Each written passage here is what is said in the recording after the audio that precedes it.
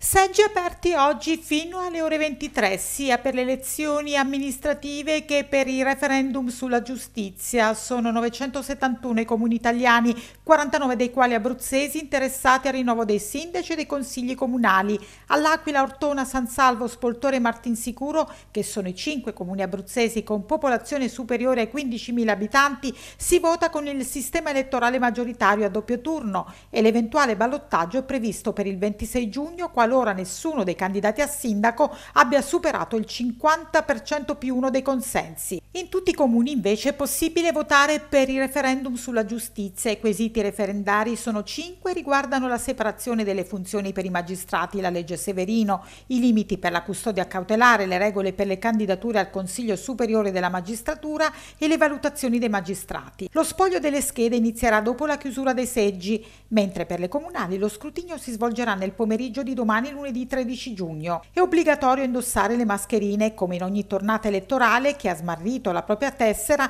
oppure ha completato lo spazio dei timbri può richiederne una nuova negli uffici comunali. In provincia dell'Aquila si vota in 17 comuni.